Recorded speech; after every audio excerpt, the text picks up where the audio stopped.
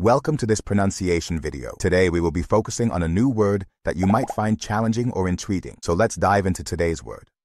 Zorra, which means A Spanish word for vixen can derogatorily mean a promiscuous woman. Let's say it all together. Zorra. Zorra. Zorra. One more time. Zorra. Zorra.